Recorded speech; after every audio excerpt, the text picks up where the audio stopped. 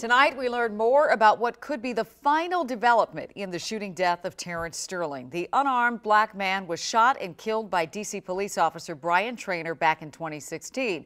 Trainor's been on paid administrative leave ever since. He was never criminally charged, but a review board did recommend he be fired. Well, now Officer Trainor is fighting to keep his job. Our Delia Gonçalves has been following this story from the beginning. She tells us what to expect tomorrow. This is a hearing to watch. There's plenty of buzz on social media and a protest plan in the morning, but those activists won't get a seat inside the public hearing. Space is very limited. In fact, MPD only reserving five seats for reporters. No justice! Black Lives Matter DC will be protesting outside, but demanding police live stream the public hearing inside.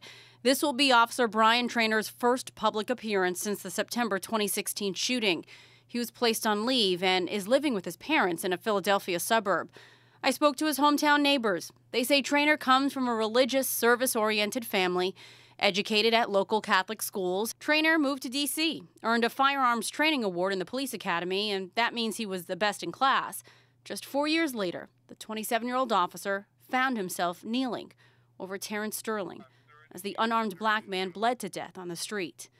Police say Sterling was speeding on his motorcycle and he had alcohol in his system. Trainor fired twice from his police cruiser after it cut off Sterling's motorcycle at 3rd and M, violated police policy, and even turned on his body camera after the shooting. One of the hardest things I ever did in my life was to sit down and have to plan a funeral for a son that was 31 years old. Terrence lived at home, admired and respected at work, loved dogs and riding motorcycles. Through their lawyer, the family members tell me they hope Trainor will be fired, quote, so that he is never again in such a position to execute someone else's loved one.